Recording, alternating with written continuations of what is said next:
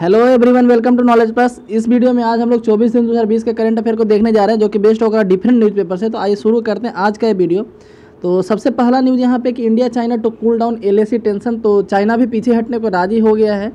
और LAC tension को कम करने के लिए इंडिया और चाइना दोनों जो है यहाँ पे तैयार हुए तो पहला न्यूज़ यहीं पे था कि both countries agree to disengage after detail talk were held between corps commander तो जो भी आर्मी कमांडर है, उनके द्वारा भी डिटेल टॉक किया गया है। तो उसके बाद ये दोनों कंट्री डिसंगेजमेंट के लिए यहाँ पे रेडी हुए मतलब दोनों को अपना वहाँ से सेना थोड़ा थोड़ा पीछे लेंगे।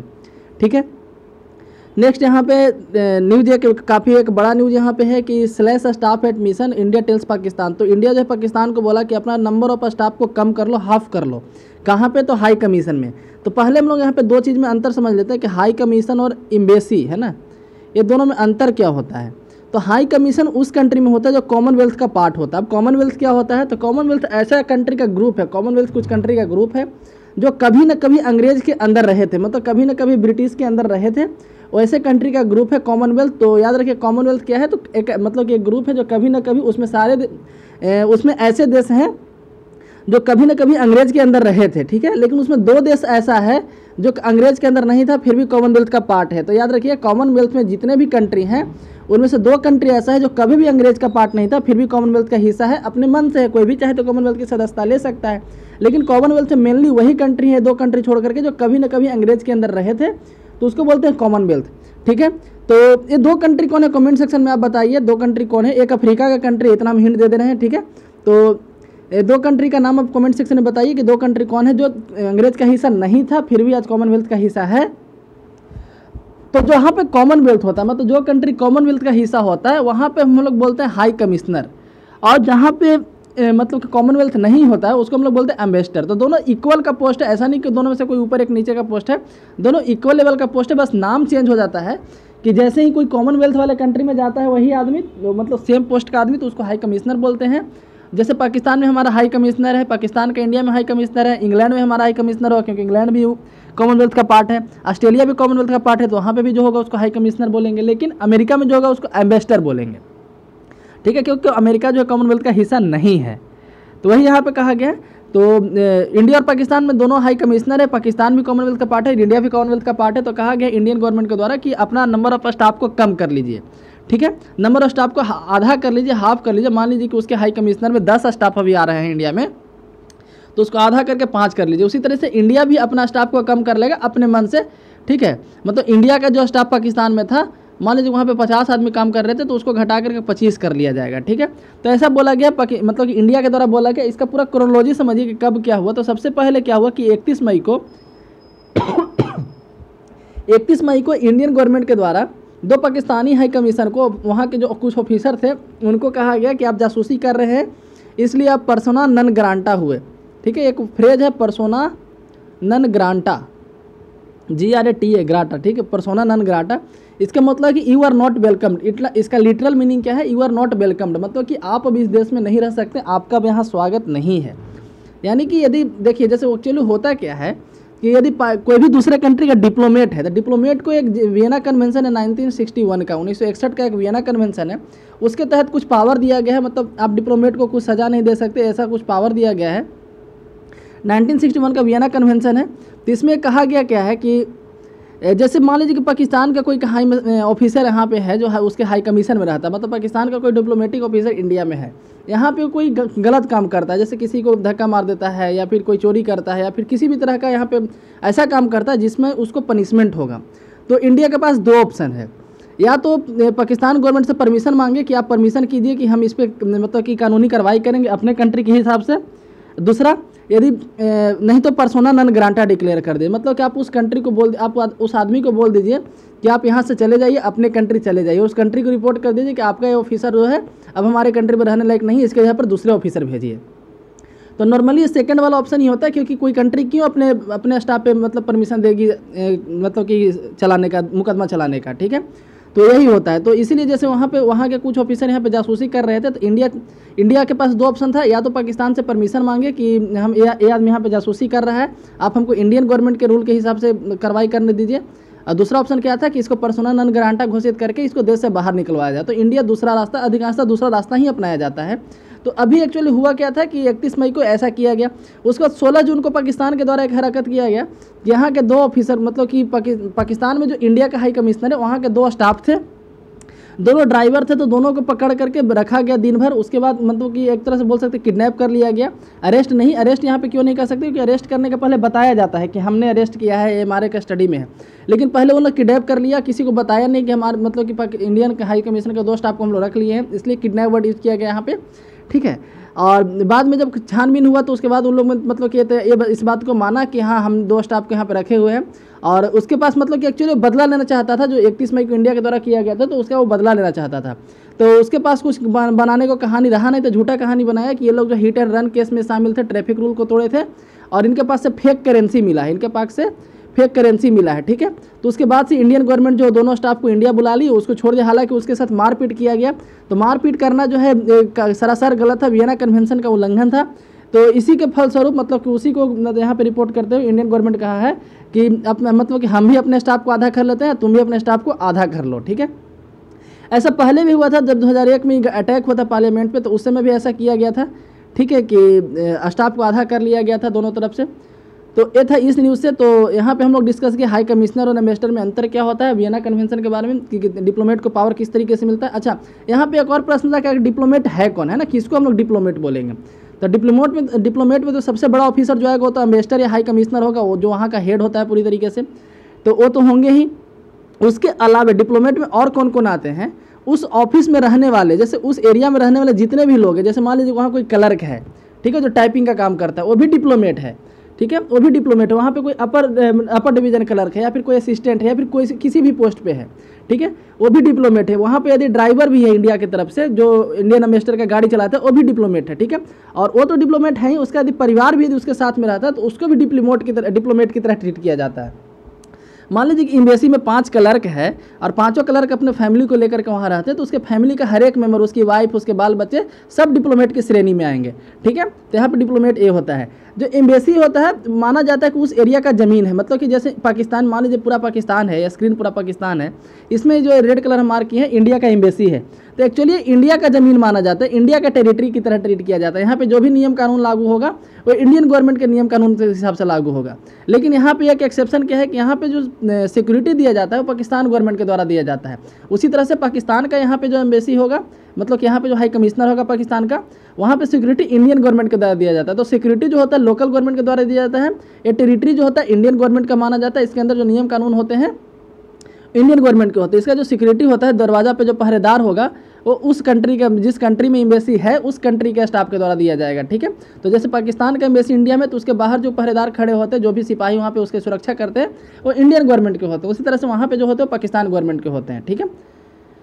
बढ़ते हैं दूसरे पेज की तरफ़ हम लोग। तो यहाँ पे कल हम लोग न्यूज़ डिस्कस किए थे कि सुप्रीम कोर्ट के द्वारा पूरी रथ यात्रा को परमिशन दे दिया गया था, जहाँ पे तीन रथ निकाले जाते हैं, लकड़ी कर निकाले जाते हैं, जिसमें तीनों रथ में कौन कौन होते हैं तो लॉर्ड जगन्नाथ होते हैं, उसके बड़े भाई बालभद्र होते हैं और गौडे सुभद्रा होती हैं, जो उनकी बहन है, ठीक है? इनको पूरी टेंपल से ले जाया गया और अषाढ़ अषाढ़ शुक्ल पक्ष द्वितीय से अषाढ़ शुक्ल पक्ष दसवीं तक के चलता है। तो था, इस न्यूज़ से अभी यहाँ पे देख सकते हैं सारे लोग को मास्क यहाँ पे दिया गया, उसके अलावा सैनिटाइजर का छिड़काव किया गया था पूरे रथ यात्रा पे। फायरमैन के द्वारा फायर जो फायर ब्रिगेड वाला होता है ना ट्रॉली जिसमें पानी भरा था, उसमें सैनिटाइजर भर के सब जगह छिड़काव किया गया था। ठीक है, इस तरीके से तो काफ़ी एक अच्छा डिसीज़न सुप्रीम कोर्ट का आई वेलकम इट नेक्स्ट यहाँ पे क्या, Ayush lens on Ramdev COVID nineteen की ओर तो कोविड कल रामदेव बाबा के द्वारा जो पतंजलि के संस्थापक भी हैं और योग गुरु हैं, योग सिखाते हैं। उनके द्वारा एक दवाई लॉन्च किया गया और उनके द्वारा दावा किया गया कोरोना वायरस से लड़ने के लिए कोरोनिल दवाई, है ना? आई थिंक दो दवाई यहाँ पे था, एक था कोरोनिल और एक था स्वसरी बुट्टी ठीक है? एक था स्वसरी बुट्टी एक था कोरोनिल तो ये दो दवाई लॉन्च किया गया, उनके द्वारा बोला गया कारगर है, ठीक है? लेकिन यहाँ पे आयुष मंत्रालय के द्वारा रामदेव बाबा से पहले पूछा गया कि पहले आप हमसे परमिशन लीजिए, है ना? डिटेल प्रोवाइड कीजिए कि इस दवाई में क्या क्या है, आप कहाँ पे ट्रायल किए हैं, आप कैसे बोल सकते हैं कि दवाई ठीक कर देगा, ठीक है? तो कुछ लोग खुश हो रहे हैं कि रामदेव बाबा की दवाई को बैन लगा दिया गया तो एक्चुअली बैन नहीं लगाया गया, उसको बैन नहीं बोलते। उसको रेगुलेट बोलते हैं। मतलब कि कोई आदमी यदि दवाई बेच रहा है, ये बोल करके कि इससे कोरोना ठीक हो जाएगा तो सरकार का जिम्मेवारी बनता है कि उसका चेक करे कि हाँ सही में ठीक होगा कि नहीं, या फिर आदमी ठग रहा है, या फिर इससे और कोई साइड इफ़ेक्ट तो नहीं होगा, कोई नुकसान तो नहीं होगा। ये देखना ज़रूरी है। अब हर चीज़ कॉस्मेटिक तो नहीं है ना कि हीरो बोल देगा कि इसे लगाने से गोरा हो जाएँगे तो लोग लगाने भी लगेंगे। ये दवाई है तो इसलिए सरकार को यहाँ पे मतलब कि स्टेप लेना ही पड़ेगा। तो जो लोग खुश हो रहे हैं, उनके लिए मतलब कि बुरी खबर जल्दी ही आएगा, बैन तो लगेगा नहीं इस पर ठीक है तो आयुष लेंस और रामदेव तो आयु, आयुष मंत्रालय का आयुष का फुल फॉर्म याद रखिएगा। A for Ayurveda Y for yoga U for Unani S पर सीधा एच पर होम्योपैथी ठीक है? नेक्स्ट न्यूज़ यहाँ पे कि Trump Trump suspend H one B visa till year end तो यहाँ पे एच वन बी वीज़ा काफ़ी ज़्यादा न्यूज़ में रहता है। एच वन वीज़ा एक्चुअली होता क्या है? ये नन इमिग्रेंट वीज़ा होता है। मतलब कि आप ये टेम्पोररी वीज़ा बोल सकते हैं। नन इमिग्रेंट वीज़ा मतलब टेम्प्रेरी वीज़ा इमिग्रेंट वीज़ा मतलब कि परमानेंट वीज़ा या फिर ऐसे बोल सकते हैं, जिसके सहारे आप वहाँ पे रह सकते हैं। जैसे कई तरह के वीज़ा होते हैं, जैसे एच फोर वीज़ा एक होता है, ठीक है? और एच फोर वीज़ा जो उसके लिए दिया जाता है, जो एच वन वीज़ा के डिपेंडेंट होते हैं। हम लोग अभी डिस्कस करेंगे कि एच वन वीज़ा क्या है। एल वीज़ा उसको बोलते हैं, जो इंट्रा कंपनी ट्रांसफ़र होते हैं as well as H two visa non agriculture worker के लिए होता है, और जे वीज़ा जो होता है will be on pouch through तो जे वीज़ा जो होता है आई थिंक घूमने वाले के लिए होता है मतलब कि क्या उसको बोल सकते हैं टूरिस्ट लोगों के लिए होता है, ठीक है? एच वन भी वीज़ा इसको उसको कहते हैं जो वर्किंग जो वर्किंग क्लास का, जो स्किल्ड लेबर है, ठीक है? मतलब कि जो इंजीनियर है डॉक्टर इस तरह का कोई स्किल्ड लेबर वाला काम करता है तो उसको एच वन भी वीज़ा दिया जाता है। तो मान लीजिए कि कोई आदमी है, वो एच वन भी वीज़ा होल्डर है तो इसके तहत वो शुरू में तीन साल का परमिशन दिया जाता है। मतलब तीन साल के अंदर आप आकर के अमेरिका में काम कर सकते हैं, लेकिन तीन साल होगा तब को जाना पड़ेगा। लेकिन इसमें रिन्यू करा करके छः साल तक मैक्सिमम किया जाता है, ठीक है? तो एक बार एच वन वीज़ा मिल जाने पे आप मैक्सिमम छः साल तक रह सकते हैं। शुरू में तीन साल तीन साल के बाद आपको रिन्यू करवाना पड़ेगा तो आप छः साल, ठीक है? लेकिन आपको जैसे ही छः साल हो जाएगा तो ऐसा नहीं है कि फिर से रिन्यू करा के आप नौ साल रह लेंगे। नहीं, आपको एक साल के लिए अमेरिका छोड़ना पड़ेगा। मतलब कि आपको एक साल के लिए अमेरिका से वापस जाना पड़ेगा, जो भी कंट्री में आप जाना चाहते हैं। उसके बाद फिर से शुरू से अप्लाई करना पड़ेगा एच वन वीज़ा के लिए, ठीक है? तो इस तरीके से एच वीज़ा का कुछ रूल है। यहाँ पे जो एल वीज़ा यहाँ पे लिखा हुआ था एल वीज़ा जो है ये सात साल के लिए मिलता है एक बार में एक ही बार में सात साल के लिए मिलता है और रिन्यू नहीं कराना पड़ता है ठीक है? तो ये था एच वन बी वीज़ा के बारे में। तो एच वन बी वीज़ा जो है स्किल लेबर को मिलता है और यहाँ पे एक्चुअली ये डबल डुअल वर्क कर देता है कैसे? तो यहाँ तो आप वर्क कर ही रहे हैं मतलब कि इस पर प्लस इस, इस पर वर्क करने के साथ साथ आप इमिग्रेंट के लिए अप्लाई कर सकते हैं ग्रीन कार्ड के लिए अप्लाई कर सकते हैं, ठीक है? जैसे अमेरिका में रहने के लिए लूर है कि कम से कम आपको ग्यारह प्लस वन साल वहाँ पर रहना है, तब आपको ग्रीन कार्ड यानी कि वहाँ का परमानेंट सिटीजनशिप मिल सकता है। तो यदि परमानेंट सिटीजनशिप लेना चाहते हैं तो एच वन वीज़ा पर रहने वाले पीरियड को भी ऐड कर सकते हैं। लेकिन एल वीज़ा पर जो रहे हैं, आप उस पीरियड को वहाँ पे काउंट नहीं कर सकते हैं। तो बहुत सारे मतलब कि एच वन वीज़ा एक तरह से बोल सकते हैं कि बहुत काफ़ी कारगर वीज़ा साबित होता है मल्टीपर्पज़ वीज़ा ये हो जाता है, इसलिए इस पर काफ़ी ज़्यादा भीड़ होता है। तो यूएस का कोटा है कि पचासी हज़ार मतलब कि विदेशी को एक साल में एच वन वीज़ा घोषित किया जाएगा। दिया जाएगा एटी फाइव थाउज़ेंड को, ठीक है? एटी फाइव थाउज़ेंड में ट्वेंटी थाउज़ेंड रिजर्वेशन है किसके लिए? जो अमेरिका में ही पढ़ा है। जैसे मान लीजिए कि कोई इंडियन आदमी अमेरिका में पढ़ा है, अमेरिका से ग्रेजुएट है। एक्चुअली पढ़ा है का मतलब कि अमेरिका से ग्रेजुएट है तो उसको एच वन वीज़ा में बीस हज़ार के अंदर छूट मिलेगा। मतलब कि पचासी हज़ार में से बीस हज़ार ऐसे लोगों को दिया जाएगा जो अमेरिकन ग्रेजुएट है, जो विदेशी हैं और अमेरिकन ग्रेजुएट हैं। ठीक है? यहाँ पे दो कंडीशन है जो नन मतलब कि नन यूएस सिटीजन है और अमेरिकन ग्रेजुएट है तो उसको बीस हज़ार बाकी बच्चा पैंसठ हज़ार तो पूरे दुनिया से मात्र पैंसठ हज़ार आदमी को ऐसे बोल सकते हैं या फिर इनडायरेक्टली पचासी हज़ार आदमी को बोल सकते हैं, जिसमें बीस हज़ार वो इंक्लूडेड है। एच वन वीज़ा ग्रांट किया जाता है, ठीक है? तो पूरे दुनिया से पचासी हज़ार तो एक्चुअली इसमें एक्चुअली होता क्या है कि जैसे एक साल में लगभग अढ़ाई लाख के आसपास अप्लीकेशन आता है। सीट कितना है? पचासी हज़ार। अढ़ाई लाख लोग साल, एक साल में अप्लाई करते हैं कि हमको अमेरिका में जाकर के काम करना है एच वन वीज़ा पे। ठीक है? तो फिर वहाँ पे लॉटरी निकाला जाता है। लॉटरी सिस्टम के थ्रू देखा जाता है। ठीक है? और एटी फाइव थाउज़ेंड को चूज़ किया जाता है। यहाँ पे लॉटरी सिस्टम से चूज़ किया जाता है। ठीक है? लेकिन अब यहाँ पे ऐसा कुछ इसके लिए भी रूल चेंज किया जा रहा है कि लॉटरी न लगा करके हर किसी का एप्लीकेशन को यहाँ पे चेक किया जाएगा कि कौन ज़्यादा स्किल्ड है। ठीक है? कौन ज़्यादा स्किल्ड है, उसको एटी फाइव थाउज़ेंड के अंदर लाया जाएगा। मतलब कि पहले क्या था कि मान लीजिए किसी को दस साल का एक्सपीरियंस है किसी को छः साल का एक्सपीरियंस है। और लॉटरी में छः साल वाले का निकल गया तो छः साल वाला अमेरिका चला जाएगा, दस वाला अमेरिका नहीं जाएगा।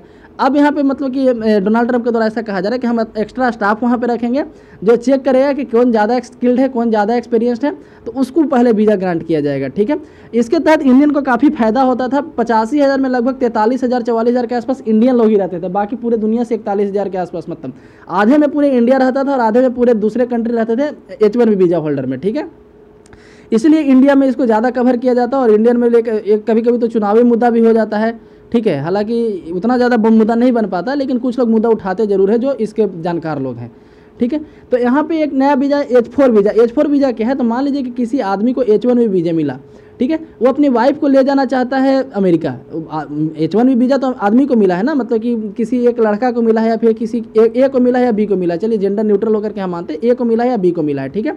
किसी एक आदमी को मिला एच वन वीज़ा तो पहले ये गया अपने अमेरिका। ये चाहता है कि हमारा जो परिवार है मतलब कि इसका जो बी है बी प्लस इसका जो सी डी बाल बच्चा होगा ठीक है? उसको भी इंडिया मतलब कि अमेरिका ले आए। तो उसको क्या करना पड़ेगा? बी सी डी के लिए एच फोर वीज़ा इशू करवाना पड़ेगा, ठीक है? एच फोर वीज़ा इशू करवाना पड़ेगा। और जो लोग एच फोर वीज़ा पे काम मतलब जाते हैं अमेरिका, वो बाहर काम नहीं कर सकते, बाहर किसी भी तरह का जॉब नहीं कर सकते। एक मतलब कि छोटे से लेकर बड़ा किसी भी लेवल का जॉब नहीं कर सकते, क्योंकि वो डिपेंडेंट वीज़ा इनको इनडायरेक्टली डिपेंडेंट वीज़ा बोल दिया जाता है एच फोर वीज़ा को, कि जो एच वन वीज़ा के होल्डर है, उनके डिपेंडेंट वीज़ा हो गए, ठीक है? तो इसीलिए यहाँ पे मतलब कि बहुत बार ऐसा देखा गया है कि जब हस्बैंड और वाइफ दोनों काम करना चाहता है तो दोनों को अलग अलग एच वन वीज़ा लेना पड़ता है। ठीक है? क्योंकि यदि मान लीजिए कि वाइफ को एच वन वीज़ा है तो हस्बैंड यदि आना चाहता है तो उसको एच फोर वीज़ा पे जाना पड़ेगा। और एच फोर वीज़ा पे जाने के बाद वहाँ पे काम नहीं मिलता है, ठीक है? तो था इसके बारे में काफ़ी न्यूज़ मतलब डिटेल में। आगे हम लोग इधर देखते हैं तो यहाँ पे एक और न्यूज़ था कि country of origin must on GEM portal तो GEM पोर्टल क्या है? तो गवर्नमेंट ई मार्केट प्लेस ठीक है? मिनिस्ट्री ऑफ़ कॉमर्स के तहत है। यहाँ पे बताया गया कि GEM पोर्टल पे यदि कोई सामान को आप अपलोड कर रहे हैं कि हम ये सामान बेचना चाहते हैं, जैसे अमेजोन है तो अमेजोन पे जो बेचता है कोई सामान, मान लीजिए कोई यहाँ पे सामान, किताब बेच रहा है तो उस पर हम लोग ये नहीं देखते हैं कि किताब कहाँ से छपा है, कहाँ से बना है है ना? ये लिखा रहता है उस पर हालाँकि नॉर्मली आदमी को इतना केयर करता नहीं है। तो उसी तरह से जी पोर्टल पे भी ये नियम था कि कंट्री ऑफ़ ऑरिजिन को आपको शो करना था कि कहाँ पे सामान बना है, इसका ऑरिजिन कंट्री क्या है। लेकिन यहाँ पे क्या एक्चुअली हुआ क्या कि बहुत लोग नहीं शो करते थे, ठीक है? तो अब यहाँ पे क्या है कि मैंडेटरी बना दिया गया कि आपको मतलब कि कंट्री ऑफ़ ऑरिजिन लिखना है मस्ट बना दिया गया है ठीक है? गवर्नमेंट को ऐसा क्या है कि आपको मस्ट यहाँ पे लिखना है कि कंट्री ऑफ़ ऑरिजिन इसका क्या है, ठीक है? आगे बढ़ते दूसरे न्यूज़ की तरफ़ तो कल भी न्यूज़ को डिस्कस किया था कि special kitchen scheme for poor को भी लॉन्च राजस्थान था जिसको इंदिरा रसोई के नाम से जाना गया था, इस पर सौ करोड़ रुपया खर्च किया जाएगा। और इसके पहले इसी ऐसा ही एक स्कीम था जिसका नाम था अन्नपूर्णा रसोई योजना, जो दिसंबर 2016 में बंद कर दिया गया था, ठीक है? अन्नपूर्णा रसोई योजना के तहत क्या था कि पाँच सॉरी दिसंबर 2016 में लॉन्च किया गया था और अक्टूबर 2018 के दिसंबर में बंद किया गया था सॉरी तो पाँच रुपया में यहाँ पर ब्रेकफास्ट मिलता था और आठ रुपया में लंच मिलता था हर किसी को। इसी के तहत का तमिलनाडु में भी एक स्कीम है अन्ना उनगवम करके, या मतलब कि अन्ना किचन ऐसा बोल सकते हैं, या फिर मदर कैंटीन आप इसका इंग्लिश में ट्रांसलेशन कर सकते हैं। ठीक है तो इस तरीके से वहाँ भी है तो डिफरेंट स्टेट में आई थिंक महाराष्ट्र में भी इस तरीके का कुछ चालू किया गया है। कुछ दिन पहले बिहार में भी चालू हुआ था, लेकिन बंद कर दिया गया। और बिहार में एक ही जगह पटना में ही चालू हुआ था, वो भी एक जगह चालू हुआ था तो काफ़ी भीड़ के कारण उसको बंद कर दिया गया। लेकिन ये सब जो स्कीम है, अन्ना कैंटीन हो गया या फिर अन्नपूर्णा योजना हो गया या फिर जो इंदिरा रसोई आएगा, ये लगभग स्टेट के हर एक बड़े बड़े शहर में और एक जगह नहीं, बल्कि कई जगह होते हैं। मतलब कि आम आदमी भी जाकर के यहाँ पाँच रुपये आठ रुपये में खाना खा सकता है, ठीक है? तो इस तरह काफ़ी एक अच्छा स्कीम हमको ये लगता है। नेक्स्ट है कि Bhima Koregaon centre six time to reply to plea against transfer of probe तो भीमा कोरेगांव बैटल के बारे में जान लेते हैं। Actually Bhima Koregaon incident news में क्या है? तो भीमा कोरेगांव एक महाराष्ट्र की एक जगह है। सिंपली ऐसे समझ महाराष्ट्र में एक गाँव है जो से, सेकेंड एंग्लो मराठा वार हुआ था। सेकेंड एंग्लो मराठा वार हुआ था 1818 में। ठीक है 1818 में। तो इसमें एक्चुअली हुआ क्या था? मराठा हार गए थे और इंग्लिश जीत गए थे। एंग्लो इंडियन मतलब कि जो अंग्रेज़ थे वो जीत गए थे और मराठा हार गए थे। 1818 में बैटल हुआ था। तो माना जाता है कि 1818 में जो सेकंड एंग्लो मराठा वार हुआ था, उसमें वहाँ पे एक महार कम्युनिटी के कुछ लोग थे, ठीक है? महार कम्युनिटी के कुछ लोग थे जो पहले मराठा के पास गए कि अंग्रेज़ों के साथ आपको लड़ना है तो हमको भी सेना में शामिल कर लीजिए, हम भी लड़ने को तैयार हैं। तो मराठा के द्वारा बोले एक्चुअली लोअर कास्ट के लोग होते हैं शेड्यूल कास्ट जो आता है, उसमें लोग होते लोग होते हैं। तो अंग्रेज़ों के मतलब कि मराठा के द्वारा बोला गया कि आप लोग शेड्यूल कास्ट से आते हैं, इसलिए हम लोग आपका सेना में नहीं ले सकते तो फिर ये लोग अंग्रेज़ के तरफ़ गए और अंग्रेज़ इनको अपनी सेना में शामिल कर लिए। और उस लड़ाई में हुआ क्या? अंग्रेज़ जीत गए, ठीक है? तो इसी बात को लेकर के वहाँ के जो लोकल कम्युनिटी लोग हैं, जिनके बाप मतलब कि जो भी उस समय के एंसेस्टर थे, बाप, दादा जो भी थे, उस समय लड़े थे अंग्रेज़ों की तरफ़ से। तो अंग्रेज़ों की जीत का जश्न मनाते हैं एक्चुअली यहाँ पे, ठीक है? यहाँ पे एक बनाया गया है कुछ सिंबल टाइप का बनाया गया है। यहाँ पे एक पिलर टाइप का बनाया गया है, भीमा कोरे मतलब सेकेंड एंग्लो मराठा वार के जीत में। तो उस पर हर साल वहाँ पे एनिवर्सरी मनाया जाता था फ़र्स्ट जनवरी को। फ़र्स्ट जनवरी को हर साल वहाँ पे एनिवर्सरी मनाया जाता था। 2018 को इसका 200 साल पूरा हुआ तो वहाँ पे कुछ ज़्यादा स्पेशल एनिवर्सरी मनाए जाने का प्लानिंग था। ठीक है? तो इस पर वहाँ के कुछ जो मराठा सपोर्टेड लोग हैं मतलब जो राइट विंग वाले लोग हैं, कहने का मतलब कि जो वहाँ पे मराठा से ज़्यादा प्यार करते हैं ठीक है, ऐसे लोग थे तो उनके द्वारा ये दलील दिया गया कि आप जो सेलिब्रेट कर रहे हैं तो इंडिया आज़ाद हो गया है। अब तो ऐसा कुछ रहा नहीं, सब लोगों को बराबर का दर्जा यहाँ दिया गया है। सेना में हर कोई जा रहा है। आप जो जश्न मनाते हैं हर साल, ये तो अंग्रेज़ का जीत का जश्न मनाते हैं। वही अंग्रेज़ जो इतना इंडिया में इतना गुलाम मतलब कि इतना सताया, इतना दिन गुलामी किया, इंडिया को गुलाम बना के रखा, इतना इसको गरीब बना दिया, आप उसके जीत का जश्न मनाते तो ये तो गलत बात है, ठीक है? तो इसी पे बहस होते हुए वहाँ पे हिंसा हो गया, जो काफ़ी बड़ा मतलब कि हिंसा का रूप ले लिया बहस जो है धीरे धीरे देखते देखते हिंसा का रूप ले लिया और वहाँ पर काफ़ी लोगों की जान गई थी मतलब 2018 में। उसके 200 साल के एनिवर्सरी मनाए जाने के ओकेजन पे। तो वहाँ पे उसी के खिलाफ जो है, केस जो है पहले महाराष्ट्र पुलिस के पास था। अब जो है महाराष्ट्र पुलिस से केस निकाल करके एनआईए को दे दिया गया है कि ठीक है, जो जो भी दोषी उसके लिए उसको वहाँ पे सजा दिया जाए। तो एनआईए को दे दिया गया है तो एक तरह से महाराष्ट्र पुलिस को एक तरह से बेइज्जती है। तो महाराष्ट्र पुलिस गई सुप्रीम कोर्ट की हमसे केस छीन को एनआईए को क्यों दे दिया गया? आखिर हम कौन गलती किए थे? है ना? क्या हम केस को सही तरीके से डील नहीं कर रहे थे या फिर कुछ भी गलती है तो बताइए एनआईए को क्यों दे दिया गया ऐसे बिना पूछे हुए? ठीक है? तो ए, उस पर सुप्रीम कोर्ट सेंटर से जवाब मांगा तो सेंटर क्या बोला है कि अभी हमको और टाइम चाहिए जवाब के लिए है ना? अभी हम जवाब नहीं दे सकते दूसरे काम में बिज़ी हैं ठीक है? अभी हमको और टाइम चाहिए जवाब देने के लिए कि हम क्यों ट्रांसफ़र किए केस को ट्रांसफ़र क्यों किए? तो यहाँ पे आपको हम बताएँ सेकेंड एंग्लो मराठा वार के बारे में भीमा कोरेगांव बैटल के बारे में इसको भीमा कोरेगांव बैटल भी के रूप से माना जाता है। ठीक है, और क्यों मतलब कि ये न्यूज़ में क्यों था, इसके बारे में हम लोग यहाँ पे डिस्कस किए। आगे बढ़ते हैं हम लोग तो Chinese veteran plate for peace तो एग्ज़ाम पर्पज ये न्यूज़ नहीं था। बस यहाँ पे हमको आज थोड़ा सा चंबा लगा कि एक चाइनीज़ सोल्डर था, जिसका नाम था वांग की ठीक है। जैसे भी उन लोग पढ़ता हो, पता नहीं चाउमिन वाले कैसे पढ़ते हैं इसको। तो वांग की जो है 1963 में अरुणाचल प्रदेश में लड़ रहा था इंडिया के मतलब चाइना की तरफ़ से। गलती से बॉर्डर क्रॉस करके इंडिया आ गया और इंडिया उसको पसंद आ गया और इंडिया में ही रह गया, यहाँ का वो सिटीजन बन गया, ठीक है? आप यहाँ उसके परिवार को देख सकते हैं, पूरा एकदम शर्ट फुल पैंट में है, लगता है कि इंडियन ही परिवार बन चुका है है ना? तो वांग की state in India after accidentally crossing Indian territory 1963 1963 में जो है उधर से वो लड़ रहा था और मतलब 1962 वॉर में और 1963 में इधर क्रॉस कर गया किसी गलती से और इंडिया में ही उसको पसंद है इंडिया में ही रह गया, इंडिया का सिटीजन बन गया। तो यहाँ पे बता रहा है कि इसके द्वारा कहा गया कि अच्छा बात नहीं है, समाज समझौता करो, है ना? तो मतलब लड़ना अच्छा बात नहीं है टूटी फूटी हिंदी में वो बोला कि लड़ना अच्छा बात नहीं है, it, this is not a good thing, come to an agreement. आगे है तो पीपल लिबरेशन आर्मी की तरफ़ से लड़ता था मिस्टर वांग, अरुणाचल प्रदेश में ही अभी रहता है, जनवरी 1963 में आया था, ठीक है? और तो ये था इसके बारे में। ठीक है तो याद रखिए कि ऐसा भी अभी इंडिया में लोग रहते हैं। यहाँ पे एक है कि एक हेलीकॉप्टर को रिटायर किया गया है तो उसी का फेयरवेल पार्टी यहाँ पे दिखाया गया था, Russian built M I eight helicopter. तो M I MiG eight helicopter जो है, रशियन बिल्ट है, याद रखिएगा, जो इंडियन एयरफोर्स को सर्व किया, लगभग पैंतीस साल तक सर्व किया था, पैंतीस साल तक इंडियन एयरफोर्स के सर्विस में रहा था। उसको डी कमीशन किया गया सर्विस से, ठीक है तो उसको तिरुवनंतपुरम में यहाँ पे फेयरवेल पार्टी दिया गया। आगे बढ़ते C B I to quiz former Manipur C M in embezzlement case तो मणिपुर के जो पूर्व सी एम थे ओकराम इबोबी सिंह, ठीक है, कांग्रेस की तरफ़ से अभी जो है एन बीरेन सिंह वो बीजेपी के हैं। तो एक्चुअली वहाँ पे न्यूज़ क्यों है मतलब कि आखिर चर्चा में इतना क्यों है अभी सी बी मणिपुर डेली लगभग दो तीन दिन से न्यूज़ में आ जा रहा है। उसका रीज़न एक्चुअली ये है कि मणिपुर में बीजेपी की गवर्नमेंट थी, वो थी गठबंधन की सरकार से, ठीक है? और काफ़ी कम मार्जिन से मतलब गवर्नमेंट चल रही थी। कम मार्जिन से गवर्नमेंट चलने का मतलब कि जो रिक्वायर्ड सीट था, जितना सीट चाहिए सरकार चलाने के लिए, उसे एक या दो सीट ज़्यादा था। तो एक्चुअली हुआ क्या है कि बीजेपी के चार या तीन कुछ मतलब कि एमएलए रिजाइन कर चुके हैं, ठीक है? बीजेपी के तीन या चार एमएलए रिजाइन कर चुके हैं और इसका जो सहयोगी दल था, यहाँ पे जो भी इसका सपोर्टिंग पार्टी था, वो अपना सपोर्ट वापस ले लिया है। तो यहाँ पे क्या एक्चुअली हुआ क्या? तो नंबर गया है कम तो बीजेपी की गवर्नमेंट वहाँ पर आ गई है खतरे में। ठीक है? तो ओकराम इबोबी सिंह डेली यहाँ पे बोल रहे थे कि फ्लोर टेस्ट करवाया जाए फ्लोर टेस्ट करवाया जाए, ठीक है? फ्लोर टेस्ट मतलब कि सरकार को फिर से बहुमत साबित करने के लिए बोला जाए, गवर्नर के द्वारा। तो ये था न्यूज़ यहाँ पे जो कांग्रेस मतलब कि मणिपुर में जो भी पॉलिटिकल क्राइसिस चल रहा है उसके बारे में। तो अभी एक्चुअली हुआ क्या है कि एक केस है, उसमें सीबीआई यहाँ पे क्विज खेलेगा ओकरामी भोवी सिंह के साथ, ठीक है? एक्चुअली क्विज नहीं खेलेगा क्विज खेलने का क्विज जो लोग नॉर्मल सेंस में यूज़ करते हैं तो क्विज का मतलब होता है कि दोनों तरफ़ से क्वेश्चन पूछा जाए, उसको क्विज बोलते हैं, ठीक है? तो ये आप यूज़ किया गया C B I to quiz former Manipur C M in embezzlement case तो मणिपुर के जो फॉर्मर सी एम थे ओकराम इबोबी सिंह, वो इबोबी सिंह यहाँ पे लिखा हुआ है। उनके साथ सीबीआई अब क्विज खेलेगा। तो हम लोग सीबीआई से क्विज खेल लेते हैं, है ना? सीबीआई के बारे में जान लेते हैं। तो सीबीआई आता है ministry of personnel public grievances and pension के तहत। Ministry of personnel public grievances and pension के तहत आता है। इसको 1941 में बनाया गया था मेनली जो सेकेंड वर्ल्ड वार चल रहा था उस समय तो उसमें जो मिलिट्री के लिए सप्लाई हो रहा था, उसमें काफ़ी ज़्यादा धांधली का खबर आ रहा था, ठीक है? तो उसी धांधली को रोकने के लिए इस तरीके का एक तरह से बॉडी बनाया गया था, जिसका नाम रखा गया सीबीआई उस समय इसका हेडक्वार्टर लाहौर में था 1941 में बनाया गया था, लेकिन जब सेकेंड वर्ल्ड वॉर ख़त्म हो गया तो उस समय सोचा है क्यों ना इस बॉडी को परमानेंटली बना दिया जाए, है ना? मतलब कि आगे भी तो भ्रष्टाचार होगा ही तो उसको जाँच करने के लिए।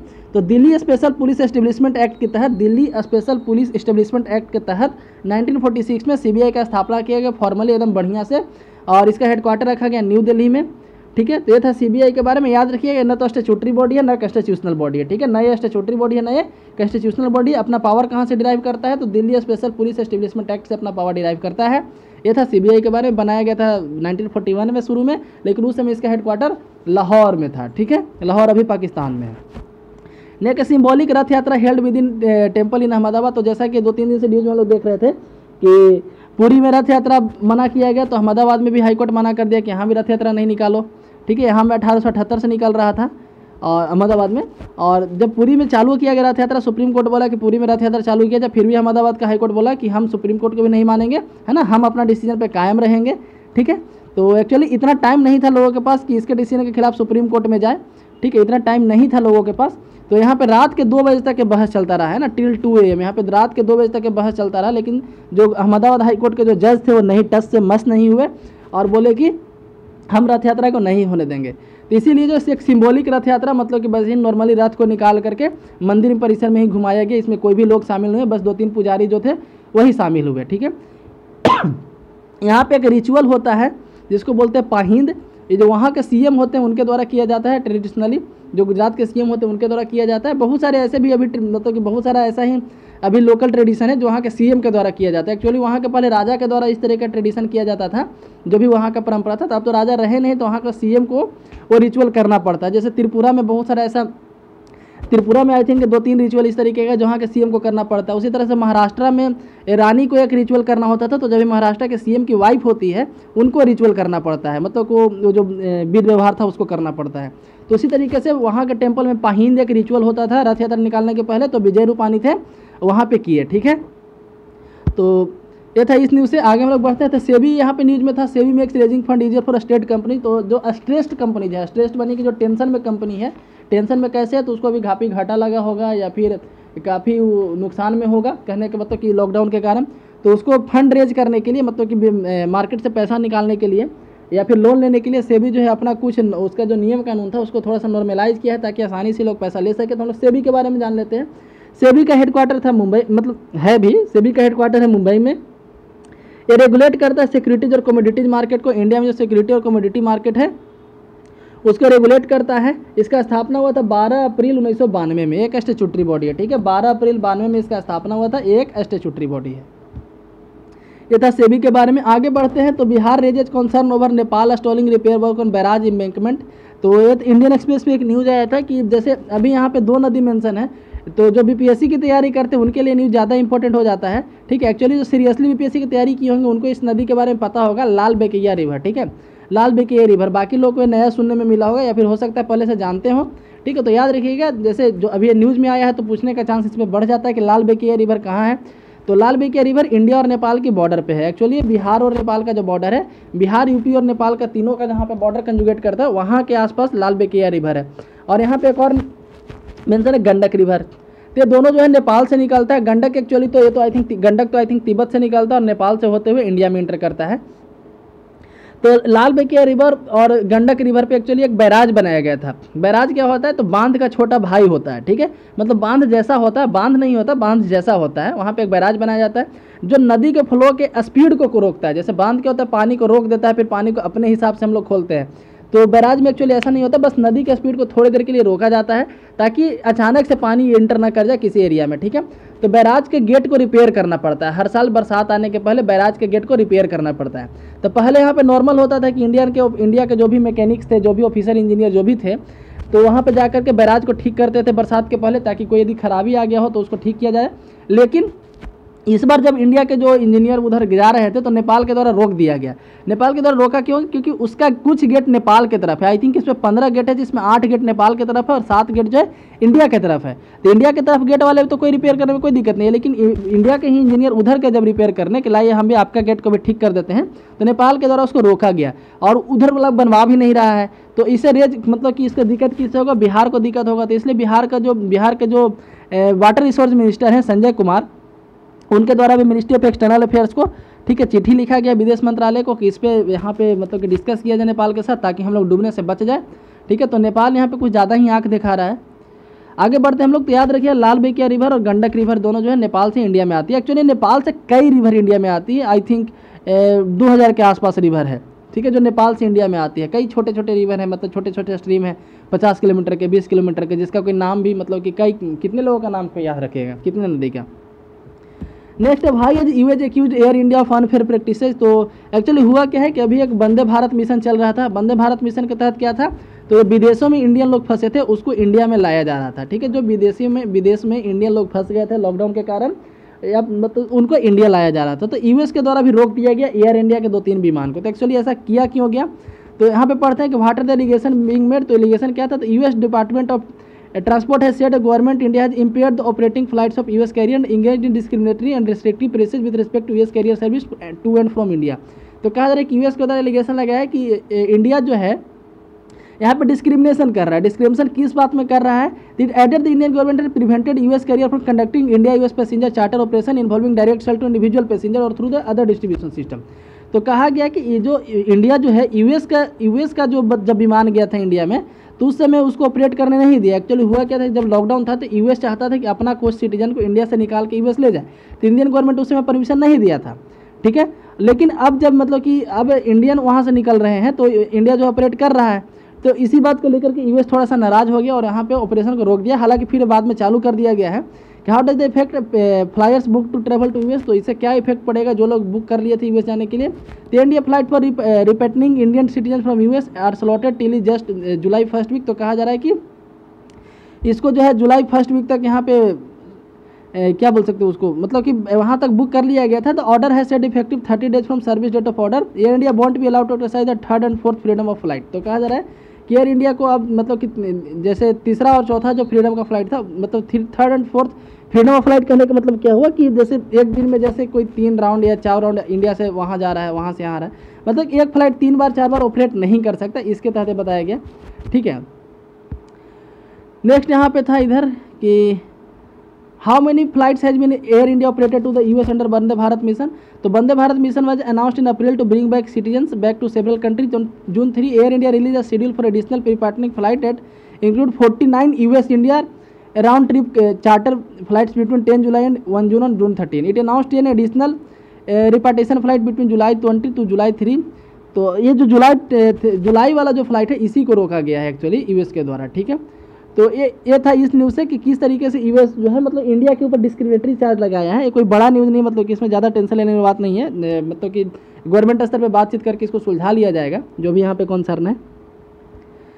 तो इसी के साथ आज का न्यूज़ डिस्कशन यहाँ पर समाप्त होता है। यदि वीडियो पसंद है तो लाइक करें, चैनल को सब्सक्राइब करें। धन्यवाद।